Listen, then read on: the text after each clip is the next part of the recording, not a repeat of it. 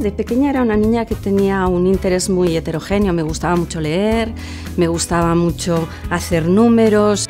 Yo en principio estudié la Ingeniería Técnica Industrial en Química. Soy de las primeras tituladas universitarias de informática de Cataluña y de España. Yo quería ser matemática, o sea, era la mejor de matemáticas de GB. A mí me pareció al final que en lo que podría rendir mejor y me podría eh, complementar mejor era la ingeniería informática.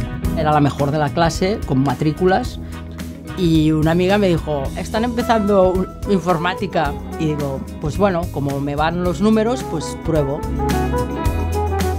Sí que tuve la sensación cuando yo tomaba la decisión de que mis compañeras se decidían por otro tipo de carreras diferentes. Estudiaban pues lo típico, ¿no? Abogadas, mucho periodismo también, psicología. En el primer año éramos 13 mujeres entre 400 pues llegamos a hacer una carrera, ahí al instituto, estudiar el bachillerato, podríamos decir que seis.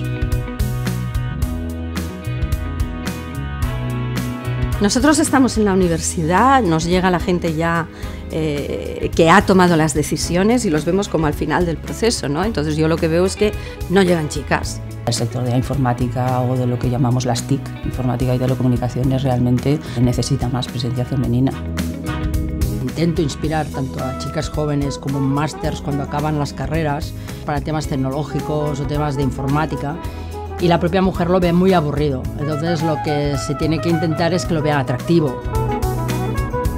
Es verdad que hay cosas que han, mejorado y por tanto la, igualdad de oportunidades va, va, va creciendo, pero ni la sociedad, ni las mujeres, ni las niñas, ni las familias todavía se lo creen. Yo creo que pesa mucho eh, la inercia cultural. A ver, es que depende también de tu entorno si te apoyan, ¿no? O sea, yo, por ejemplo, a mí me apoyaron por mucho que yo la rara mis cinco hermanas. Mi padre me apoyó mucho, me compró el primer ordenador. Claro, esto viene desde casa. Cuando las niñas desde que nacen estás siempre recibiendo consciente o inconscientemente, un mensaje de tú eres niña y sirves para unas cosas y si eres niño sirves para otras, pues claro, si, no hay científicas, si no hay tecnólogas, lo normal es que esto se perpetúe a lo largo de las generaciones. Nuestras madres y nuestras abuelas que todavía vivían, bueno, tenían clarísimo lo que debíamos hacer nosotras. Concretamente, querían que las niñas estudiasen como símbolo de libertad, ¿no? En estos momentos las acciones, eh, un poco de sensibilización, de decir todo el mundo puede hacer de todo, las estamos haciendo en primaria.